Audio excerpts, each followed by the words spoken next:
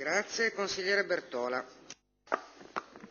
Grazie, ma eh, io vorrei esprimere intanto l'adesione convinta del Movimento 5 Stelle alle due mozioni su queste due tematiche che sono molto importanti per noi ma per la città. Eh, il software libero non solo per i motivi di risparmio e tra l'altro se già solo consideriamo 11.000 dipendenti comunali con 100 euro metti che se non anche di più di licenza a testa fa un milione di euro di soldi che noi spendiamo ogni anno, ma probabilmente sono molti molti di più, ma anche per questioni di sicurezza, di accesso ai dati e così via. E di open data perché effettivamente l'accesso dei cittadini libero ai dati oltre a essere un'occasione di creare nuove imprese, è anche una forma di trasparenza che secondo me un, un ente pubblico ha il dovere di, di offrire. Però anch'io volevo sottolineare che questa non è la prima volta che il Consiglio Comunale si esprime su questo tema, appunto perché esiste una mozione del 2003 che, per quanto riguarda il software libero, perché all'epoca gli open data non erano ancora così conosciuti, eh, dice sostanzialmente le stesse cose, per certi versi addirittura parola per parola. E quindi credo che anch'io che il problema che dobbiamo porci non è tanto provare una nuova mozione, che ben venga, perché se non si è fatto niente forse serve una nuova mozione, però è capire perché la stessa amministrazione che adesso ripropone la mozione in dieci anni non è riuscita a ottenere niente, quindi quali siano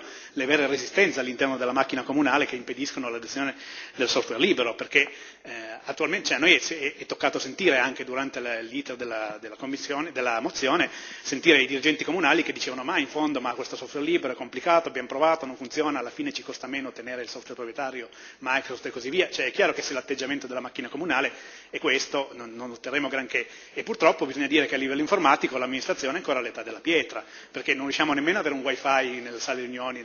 nella sala rossa, eccetera, il CSI ci ha chiesto 120.000 euro per mettere un wifi in questa sala. Eh, ah, se tu provi, come è successo a me, a mandare i file agli uffici comunali, ma anche ai cittadini che fanno le pratiche negli uffici tecnici, in formato aperto, ODS, ODT, eccetera, si sente rispondere cos'è questa roba, non, non me la apre, non so cos'è, clicco e non succede niente, per favore mi mandi Word, mi mandi Excel, e, e, a noi stessi consiglieri comunali è stato consegnato un PC con Windows, senza neanche chiederci se lo gradivamo, e quando ho chiesto se potevo toglierlo e metterci Linux, gli è stato detto no, Linux non è possibile, non è supportato, non avete i diritti, tenetevi Windows che il comune vuole che vi teniate Windows. Ma peggio ancora ci è arrivata recentemente una proposta di modifica del regolamento comunale per quanto riguarda le riprese video del Consiglio comunale, che invece di dire le riprese video sono open data e quindi chiunque se le può prendere e fare quello che vuole, mette tutta una serie di lacciuoli, bisogna presentare una richiesta scritta, impegnarsi a non modificarle, a non alterare, a non tagliare, a non incollare, per cui paradossalmente facciamo la mozione per dire che siamo tanto bravi, facciamo il software libero gli open data, poi quando tocca a noi la prima cosa che facciamo è mettere tutti i tipi di lacci e lacciuoli, fare esattamente l'opposto di quello che scriviamo nella mozione.